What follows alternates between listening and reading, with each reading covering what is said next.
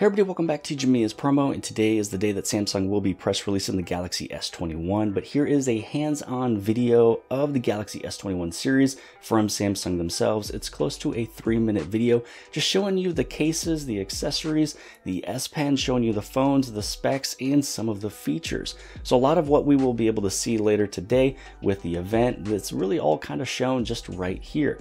So this is just showing you what the case will look like for the Galaxy S21 Ultra. It's going over just editing a photo, just how easy and simple it is. Also showing you the precision and accuracy of the S Pen itself. And again, it's going to be one of those that is super similar and close to whatever you would find on a Galaxy tablet. Here you'll be able to see which camera lenses and sensors is used. So the laser autofocus, you also have the ultra wide, wide, and telephoto 2.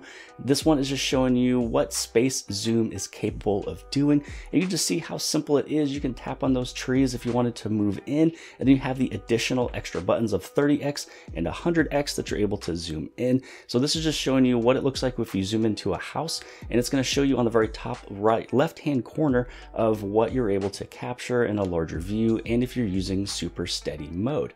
Now there is a much much better night mode and it's also able to take it much quicker. So on the right hand side you can see how much faster it was able to take a photo and also again just how much better it is. So some people might be just questioning, you know, if they're really going to be taking a lot of photos in the direct darkness, um, but at least you'd be able to see exactly what you'll be able to uh, take a look at. So this is just showing you how smooth and lifelike the videos are able, uh, going with the, the full HD 30 frames per second versus the full HD 30 frames per second through 60 frames. So it's going to look a lot more lifelike when you do shoot at 60 frames per second. Now this is just going to be the updated single take. Again, single take is where you're able to take multiple photos and videos uh, with one tap of the shutter button. And the more that you kind of move around, the more photos will come.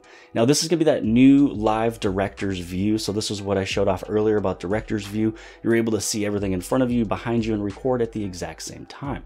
Now, the Galaxy Smart Tag, this is one of those where if you want to place it on a purse, a backpack, scooter, keys, really anything you want to. So if you happen to lose something, you're able to find it through Samsung's Galaxy Smart Things. Then you'll be able to also ring and try to find exactly what you're looking for. And now if there is multiple things that you're trying to find, maybe you're trying to find, you know, the device, or if you want to find your, your Galaxy Buds or anything else that you have with that tag, you'll be able to find it. Here's going to be some of those multicolored layouts for the Galaxy S21 Plus. So just take a look at this. That is a beautiful color. A lot of people's calling this one the Thanos color scheme. So what do you guys think about this brand new color? I, personally, I'm excited for either that brown or kind of that greenish, dark green color that would be coming for the Galaxy S21 Ultra. Again, with me being a, uh, a YouTuber, I will be going for the Ultra. If I was a regular consumer, customer, I would probably go with the Galaxy S21 Plus. Then here we get to take a look at the Galaxy Buds Pro with the intelligent active noise cancellation. You're able to simply switch it over to ambient sound if somebody is speaking to you. And then whenever they leave, you want to go back to what you're doing, then you're able to switch it back over inside of the active noise cancellation. And then you also have the continuous connection between the auto switches if you're connected to your tablet or cell phone. So if a phone rings, you're able to answer it.